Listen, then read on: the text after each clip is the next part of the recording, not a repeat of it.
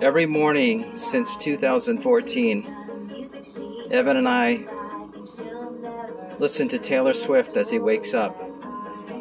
And we're listening to Fearless, Taylor's album, Taylor's version. This is one of his favorite songs. But Mr. Smiley has a smile this morning, which is great. We're having a really good morning this morning.